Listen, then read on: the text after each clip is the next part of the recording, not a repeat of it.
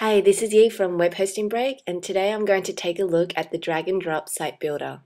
So, as you can see, it's very intuitive design. It's very easy to navigate around as well.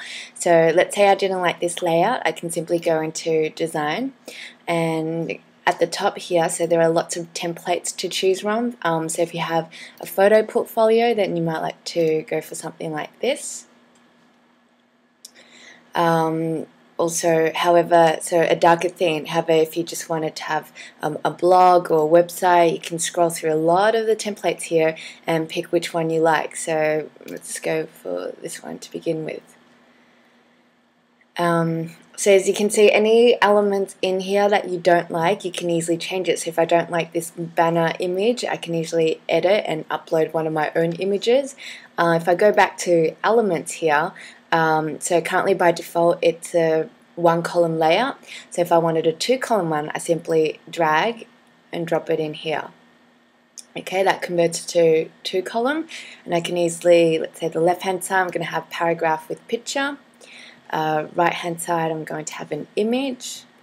And it's very flexible as well. You can even have custom HTML in here as well. Um, let's say, and also something like contact form um, drop it in here and that uploads it. Um, of course, anything you don't like, it's as easy as uh, hovering over it and then just clicking the delete button. And there you go.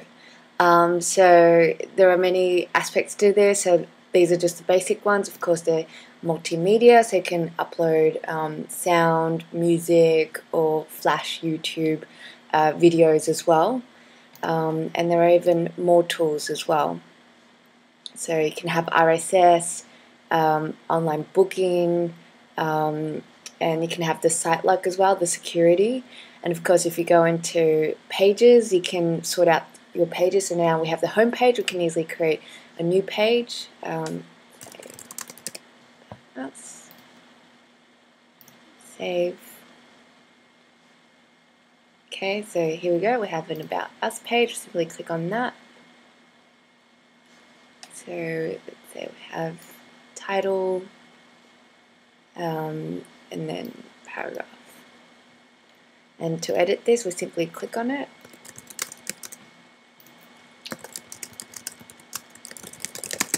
So there you go. Um, once you're done with this, so it's auto save along the way, you simply hit publish or you can simply leave this and come back to it next time you log in.